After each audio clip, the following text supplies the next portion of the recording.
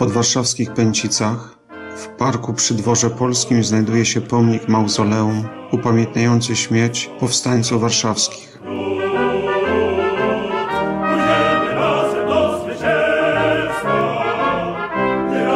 Po wybuchu Powstania Warszawskiego pomiędzy 1 a 2 sierpnia 1944 roku wycofująca się z warszawskiej dzielnicy Ochota grupa 700 powstańców pod dowództwem komendanta obwodu pułkownika Mieczysława Sokołowskiego, pseudonim Grzymała, przemieszczając się wzdłuż linii kolejki EKD, próbowała się przedostać do lasów sękocińskich poprzez Pęcice, gdzie natknęła się niestety na Niemców.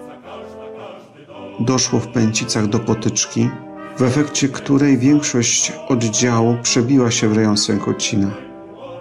Niestety 31 powstańców zginęło w trakcie walki, natomiast 60 trafiło do niewoli. Byli przetrzymywani i torturowani w piwnicach pałacu w Pęcicach, a następnie rozstrzelani przy pałacowym parku. Wszyscy zostali pochowani we wspólnej mogile, którą na rozkaz Niemców musieli wykopać okoliczni mieszkańcy.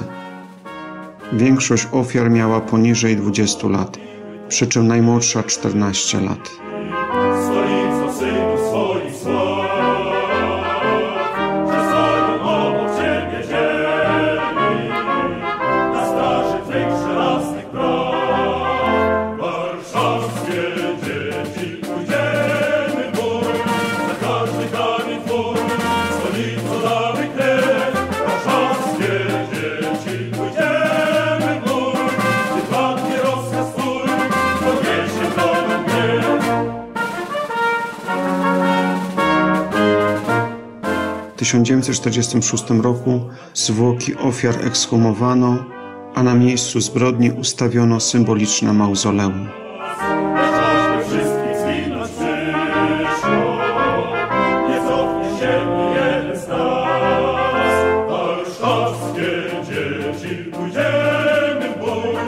każdy kamień twój,